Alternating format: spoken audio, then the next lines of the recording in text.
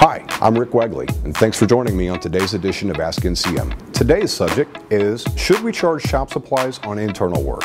Well, we use shop supplies on internal work, don't we? It's something that's not been a standard practice in most dealerships in the past, but there are costs associated with any kind of service that we're doing on a car in our shop. And if it's fair to charge our customers for shop supplies, it should also be fair to charge internal for shop supplies.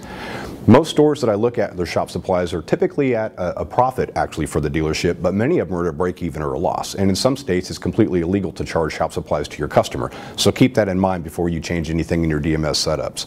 But shop supplies are a profit center for the dealership. They can be if they're set up correctly.